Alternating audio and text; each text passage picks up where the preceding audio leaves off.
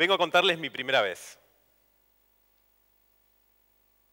Esto que ven acá es la Trimaker 1. Es una impresora 3D. Las impresoras 3D son máquinas que nos permiten hacer cosas, fabricar nuestros propios objetos. Para mí las impresoras 3D van a cambiar el mundo en los próximos años, nos van a cambiar la vida. De pequeño siempre me gustó hacer cosas con las manos. Em, me gustaba fabricar mis propios juguetes. Me acuerdo que era distinta la sensación de fabricar mi propio juguete a, tenerlo comprado. Y para esto usaba las herramientas de papá, que eran mi, canal de, inspiración. Bueno, a los seis años me acuerdo que me electrocuté por primera vez. Estaba arreglando un arbolito de Navidad. Y después a los 14 fue muchísimo más fuerte. Me acuerdo que estaba arreglando el, taladro del abuelo. Y no va que estaba descalzo, lo enchufo y en cuanto lo enchufo me empezó a vibrar todo el cuerpo. Empecé a sentir como la electricidad empezó a pasar por las manos, por el cuerpo, por los pies y quedé tirado en el piso. Me tuvieron que socorrer. Después de eso, claro, después de semejante clase práctica, vino el abuelo, me sentó, abuelo italiano, me dice, ma, bambino, siéntate aquí. Y me dijo, te voy a dar la clase teórica. Y les juro que no me olvidé nunca más lo que era el vivo y una descarga tierra. Bueno, el tiempo fue pasando y me seguía haciendo mis propios juguetes. Pero esto es un poquito más complicado. Esta turbina la hizo Dan Ettenberg, es un amigo mío, nos fascinaba juntarnos para hacer este tipo de locuras. Me llama y me dice, che, Maxi, escúchame, ya terminé la turbina, terminé de resolver eso que teníamos que tornear, voy para la casa de tu abuelo. ¿Ustedes se pueden imaginar la cara del abuelo cuando le dijimos que le íbamos a tener una turbina al jardín? Realmente el abuelo se encerró en la cocina y claro, le estábamos trayendo un aparatito así que giraba a 130.000 revoluciones por minuto, que hubo que ponerle una protección por si los álabes salían despedidos y además tiraba una flama del tamaño de 40 centímetros. Y el ruido que hacía no me lo puedo sacar del cuerpo. Era como si le estuviese aterrizando un Sky Harrier en el, en el jardín al abuelo. Yo creo que habrá pensado eso, estaría aterrizando un helicóptero. Bueno, después le dije a Dan, che, Dan, ¿qué nos podemos hacer ahora? ¿Qué tal si nos hacemos un rayo láser? Claro, éramos buenos pibes, pero nos gustaban estas cosas. Claro, un rayo láser ustedes llegaban, estábamos ahí, teníamos que tener mucho cuidado. Si llegamos a tocar esa parte que ustedes ven de aluminio en el tubo de descarga, eran 30.000 volts que pasaban por ahí. Y eso que... Pero bueno, nos gustaban esas cosas y queríamos hacer lo que nos gustaba. Ese laboratorio era como el laboratorio de Frankenstein. Pasó un tiempo y dije, entre otras cosas, bueno, no quiero pedirle más las herramientas a papá, y esta vez dije, voy a hacer mis propias cosas con una fresadora. Una fresadora es un robot cartesiano que sustrae material de un bloque de madera o de un bloque de plástico hasta construir lo que ustedes ven ahí, que puede ser cualquier tipo de objetos. Eran como 10 meses de construcción para consumar el objeto por ahí en una hora. Nos quedamos mirando la máquina funcionando, era una intensidad increíble. Pero había una pregunta que no me podía responder. ¿Se podía vivir de lo que te gusta? ¿O la diversión y el trabajo son como el agua y el aceite? ¿Pueden estar mezclados? ¿Se puede mezclar el juego con la oportunidad de negocio? Bueno, y ahí fue como empecé a meterme con el tema de las impresoras 3D.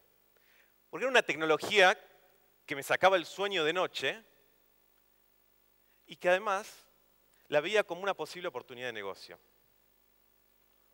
Pero yo creo al principio que les dije que les venía a contar mi primera vez, ¿no? Bueno, la primera vez que imprimí con una impresora 3D hecha por mí. Se las presento. Esta es Marcy 1. Sí, ya sé, parece una heladera, pero créanme que era una impresora 3D. Mi primera vez fue desastrosa. Estuve tres meses intentándolo y nada, no pasaba absolutamente nada. Nada, nada. Me acuerdo que ya había hablado con inversores que estaba dando eh, charlas en la UBA, que le estaba contando a todo el mundo que estaba haciendo una impresora 3D que no imprimía y que lo único que hacía era esto. Quería hacer Una pulsera, me salía eso chato. Quería hacer el Yoda de la Guerra de las Galaxias y me salía ese huevo frito que ven ahí. Cada vez que eso me pasaba era como si me clavasen un puñal en el pecho y me iba a dormir muy, muy, muy triste. Hasta que un día decidí no prestarle más atención. Y esto que les voy a contar es 100% verdad. La puse a imprimir, claro, siempre me quedaba como dos horas mirándola, mirándola, mirándola y salía todo eso. Me fui al supermercado y la dejé. Bueno, como si me lo hubiese hecho a propósito, cuando llegué me encontré con esto. No, no saben lo que fue, saltaba de la alegría. Imagínense llegar y ver la Venus de Milo ahí, colgadita, hecha, estaba, era de dos, por dos, por tres, pero para mí había sido como tocar el cielo con las manos, ¿no? Bueno, la cosa fue mejorando, poco a poco, y empezamos a imprimir otras cosas. Les voy a contar un poquito de la tecnología. ¿Ven esa batea blanca? Ahí se coloca una resina que es fotosensible.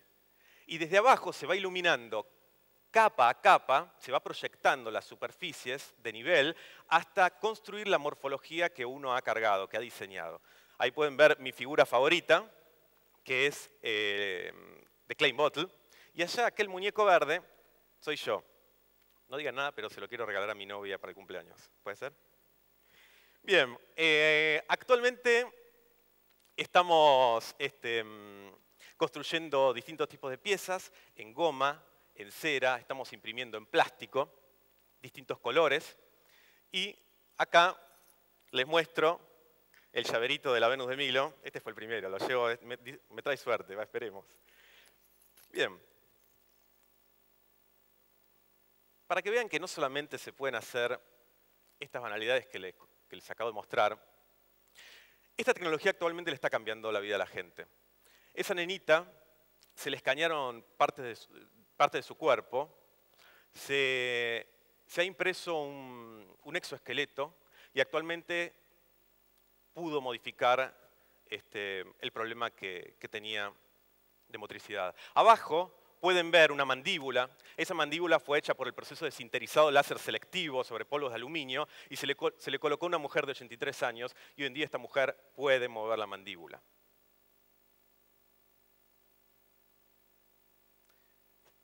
Les presento a Marina. Marina es mi prima. En el año 2006 ella tuvo un accidente muy serio, un accidente automovilístico. El pronóstico de los médicos no era muy favorable. Em, la verdad que conmocionó muchísimo a toda la familia. Em, bueno, ella tuvo politraumatismos de todo tipo y uno de los más graves había sido en la cabeza. Había perdido parte de la estructura ósea, parte del cráneo. Habían dos opciones.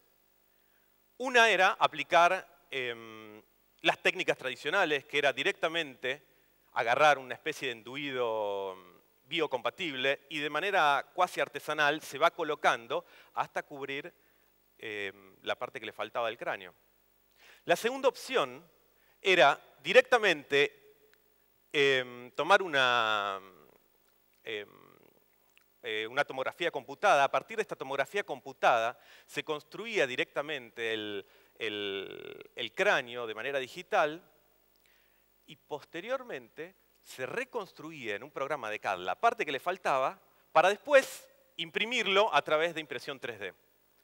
Se optó por esta segunda opción. Hoy Marina disfruta de una vida espléndida, tiene dos hijos, disfruta con su familia y acaba de correr una maratón. Bueno, lo que en un principio arrancó como un juego, espero que en el futuro pueda ayudarle a la gente.